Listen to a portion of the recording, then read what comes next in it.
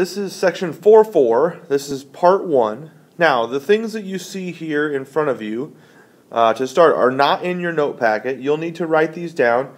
Uh, if you take the bottom of your the bottom left corner of your 4.4 note packet and write this stuff down, I'm going to cover this first, and then we're going to talk about some of a couple of the proofs here.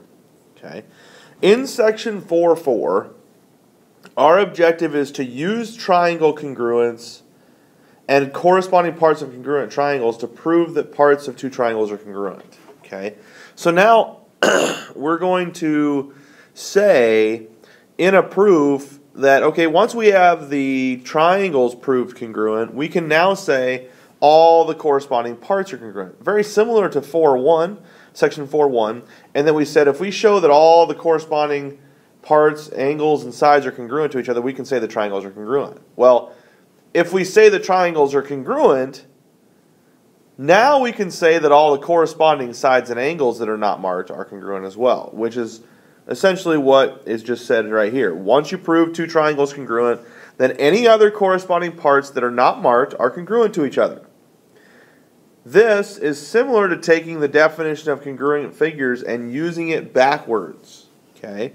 Now, there's a saying that we're going to use, and it's and I've got it here to the left in red, and it's what we call CPCTC. It's a reason that you're going to use in your proofs, and the what it stands for is corresponding parts of congruent triangles are congruent. Okay, corresponding parts of congruent triangles are congruent. That's what CPC TC stands for, and that's how we're going to abbreviate it in our reasons, okay? So, what we're going to try and do in a proof, we're going to prove, first of all, we've got to prove that the triangles are congruent. So we may have some steps before that in order to get to proving triangles congruent, okay?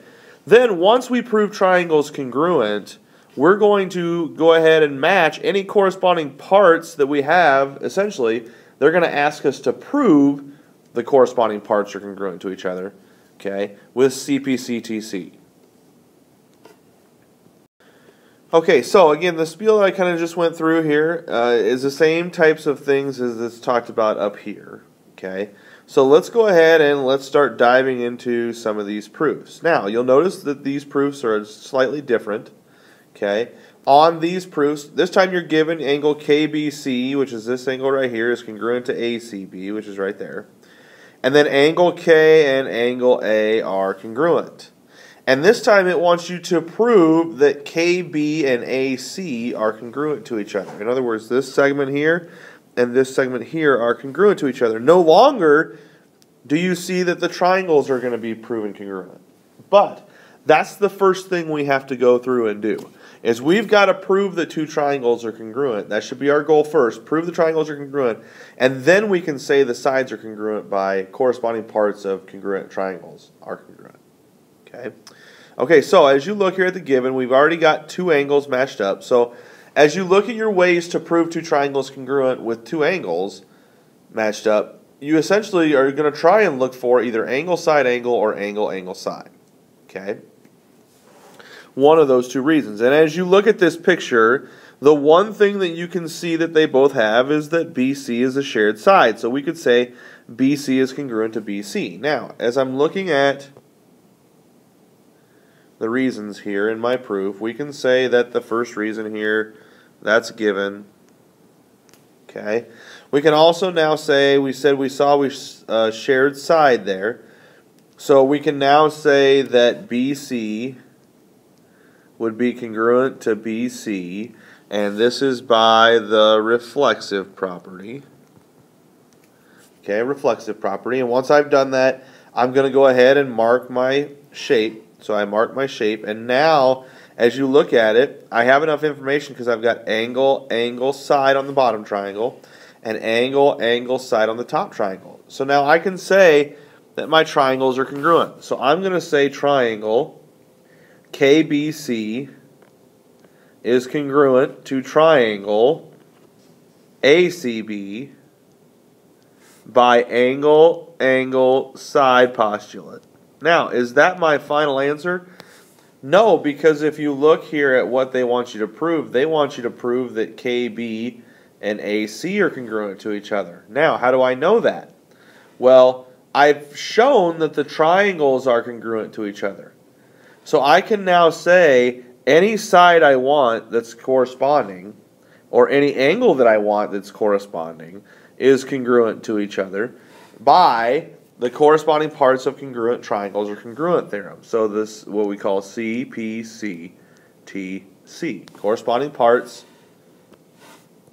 of congruent triangles are congruent. Okay? So again, the goal is to prove your triangle is congruent. Then you can say all the corresponding sides and angles are congruent as well. Okay, let's take a look here at one more example here in part one. And you've been given that BA and DA are congruent.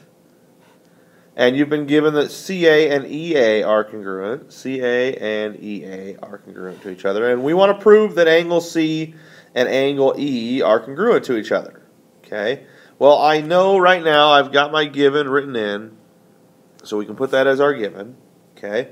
And as you look at the picture, we've got two sides. So now again, as you look at your reasons to prove triangles congruent, because remember, you're trying to prove triangles congruent first, there's two of them with two sides. You've got side, side, side, and you've got side, angle, side. Now, there's no way for me right now to say that BC and DE are congruent to each other. So I'm not going to be able to use side, side, side.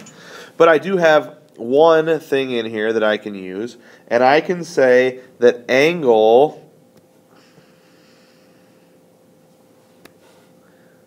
angle CAB is congruent to angle EAD. So these two angles right here are congruent to each other by the vertical angles theorem.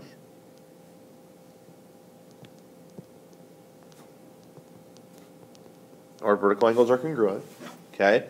And if you now look at your triangle, I have a side, then an angle, then a side, and a side, an angle, and a side. So now I can say I've got enough information here to say that triangle CAB is congruent to triangle EAD by side angle side postulate. Okay? Now, once I've done that, I can say any, now that I've proven triangles congruent, I can say any side I want, any angle I want that's corresponding or congruent to each other. Well, in the proof, they want to know why angle C and angle E are congruent to each other. Well, they're congruent to each other because I've already proven the triangle is congruent. So CPCTC, or corresponding parts of congruent triangles, are congruent. Okay, so a little bit added, uh, a little bit different type of proof as you're looking at these. Okay. Um, but this concludes section 4, four part 1. Uh, make sure that you finish your WSQ.